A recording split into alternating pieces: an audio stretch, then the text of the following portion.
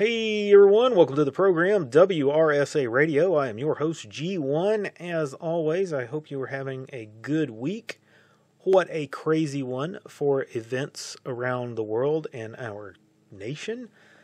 Uh, last week, as I was putting the, the closing touches on the show together, uh, you know, putting it together, uh, we got word of the terrorist attack in Moscow. The attack was at a theater, the Crocus Theater, filled with innocent people, and a team of gunmen came in shooting the place up. I did not see a a final toll of casualties, but it was it was well over a hundred. I, I think I had saw a number of 143 um, killed, but uh, that that was the last number that I'd seen. That that number may have changed. I did not get an update today, but uh, regardless, that is a terrible, terrible event. My heart goes out to the families of the victims. Um, sorry for for hearing the uh, the noises in the background. I've got another computer going, and I've got uh, a neighbor mowing his yard. So uh, anyway, I. It, it, terrible, terrible events that took place. I, I cannot imagine the helplessness and, and fear that those people faced as that that event unfolded. The videos of it are out there. There's some some individuals that took took uh, videos with their phones in the theater as it was taking place. They are out there and they are terrible. Um, go go watch them at at your own discretion. What is also out there is a video of, or multiple videos of the perpetrators being captured by Russian security forces. At least four of the gunmen and, a number of others were arrested. Uh, let's let's just say that they were not they were not treated well. they they've already paid a price for what they did, but but I have to say that it uh, it is probably just the beginning of what they are going to face. I don't believe that Russia has the death penalty anymore. I think they did away with it. I know there were some calls for them to reinstate that, and that may be the case, whatnot, that comes out of this. But I suspect these individuals will face a very very long and, and suffering life in a Siberian prison going forward.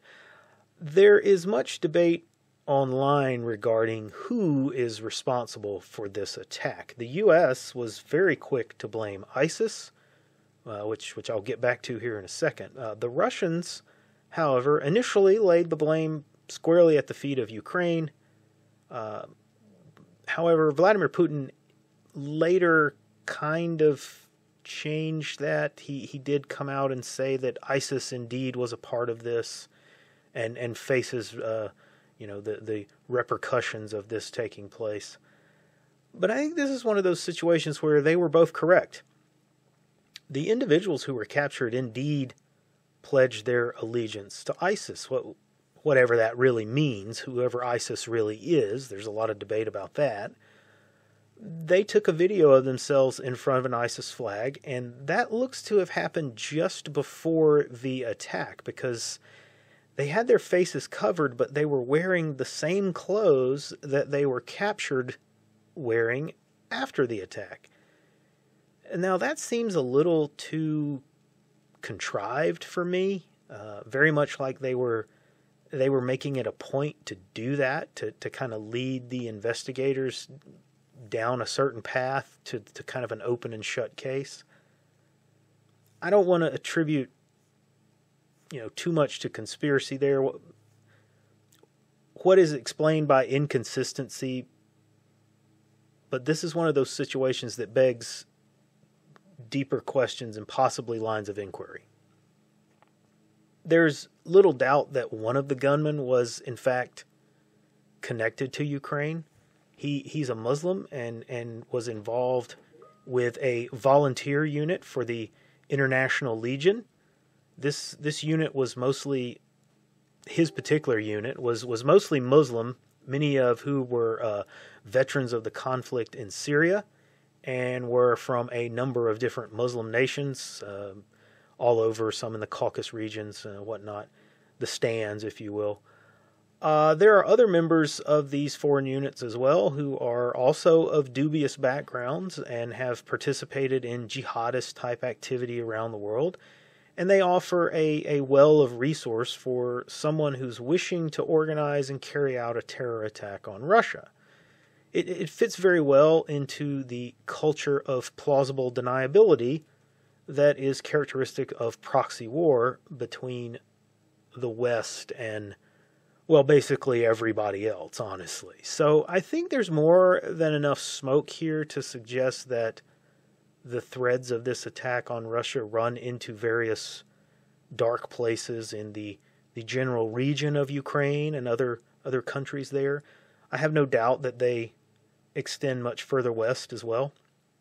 Although proving that would likely be almost impossible.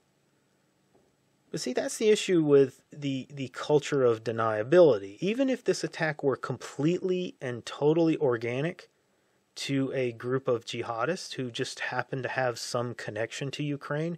Maybe that's maybe that's completely coincidental.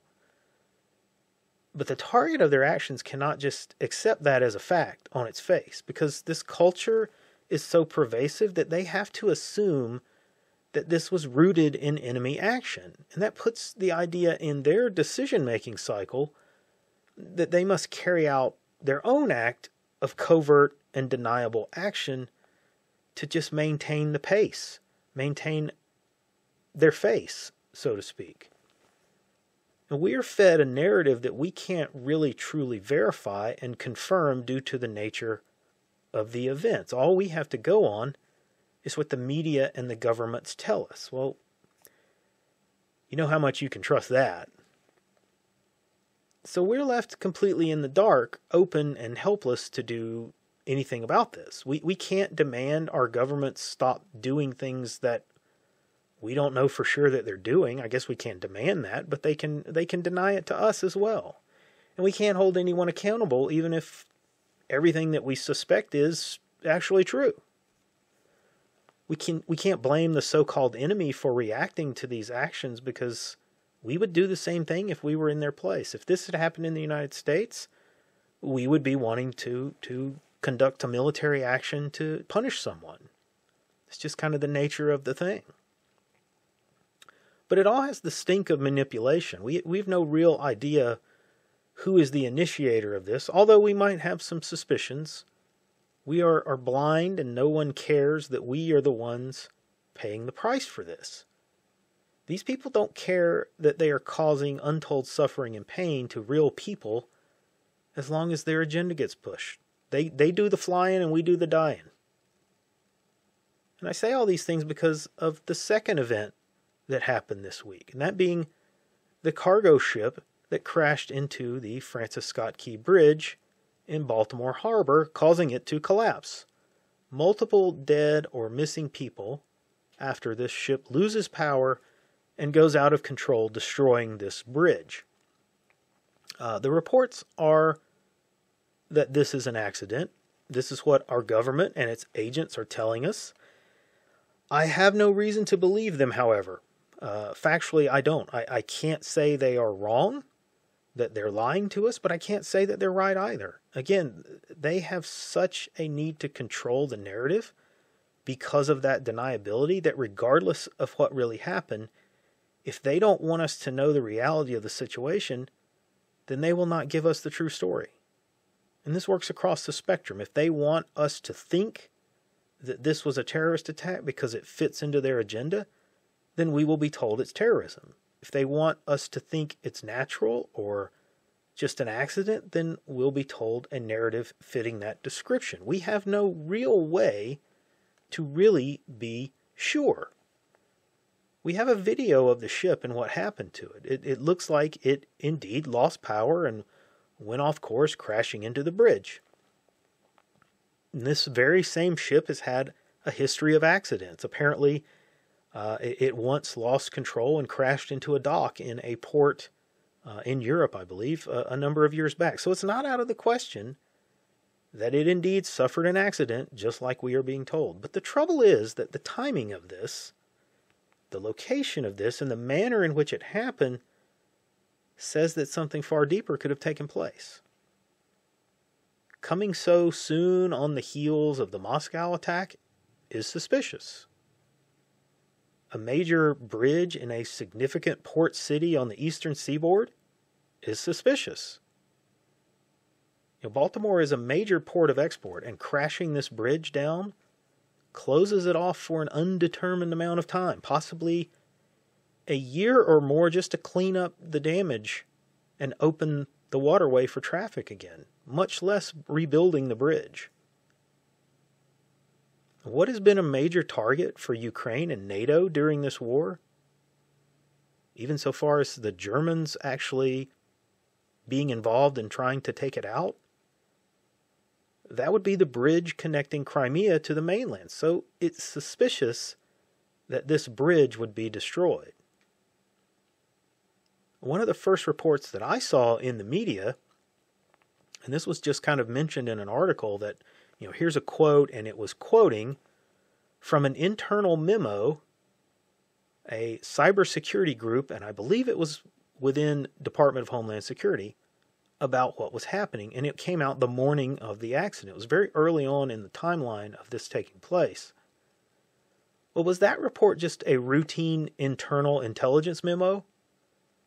Or was a hacking attack suspected due to information that maybe we do not have?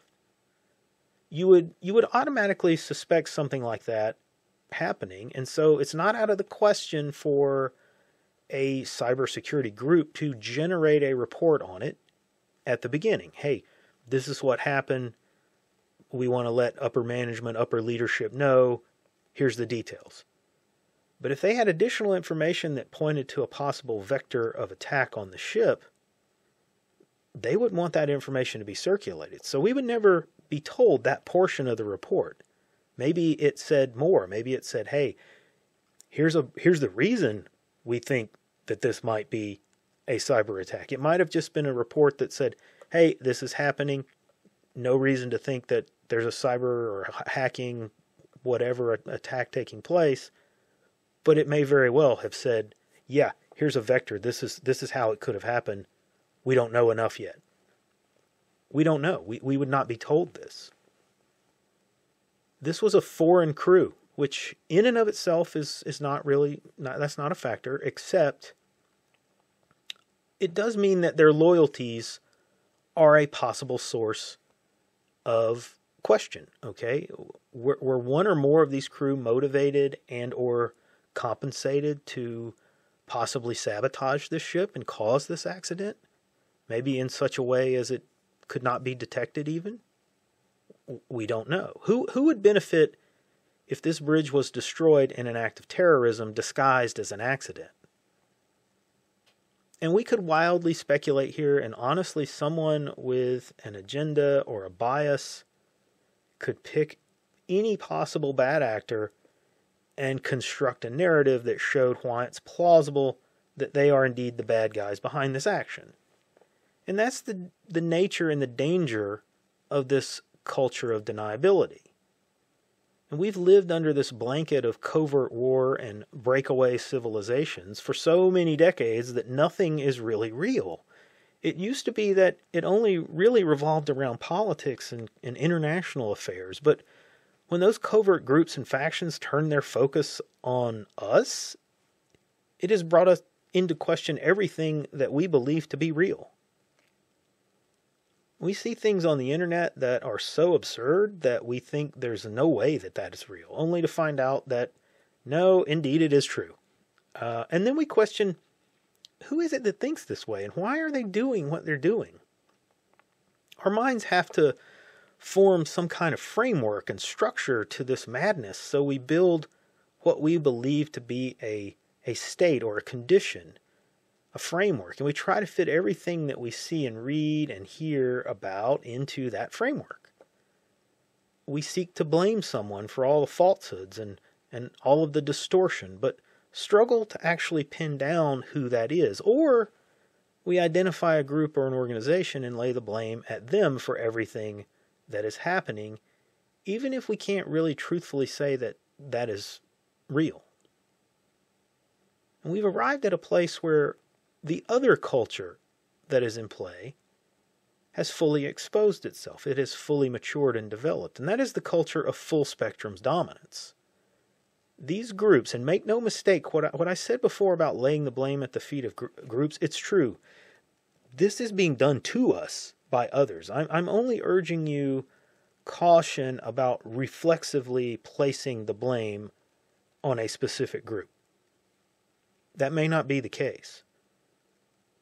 So these groups are doing this because they have sought a culture of dominance, whereby they control the narrative of everything across all levels of narrative. And what do I mean by that? Well, we live in a world where we have many narratives, and I'll I'll call them timelines for convenience. So so many timelines running at the same time, and most of us have kind of an internal timeline about you know our body or our feelings about something, our personal matters, whatnot, and then we have kind of an outward timeline that we that we maintain for our families or spouses or, or close close associates.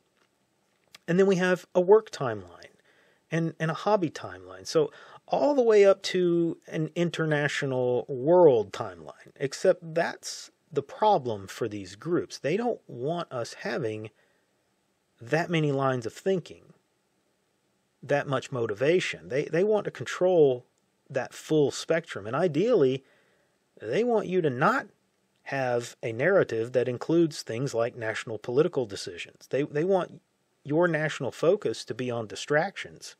It makes it easier for them to control that layer. So, for many decades, these groups and factions have waged a war on our narratives or our timelines in order to be the ones controlling them.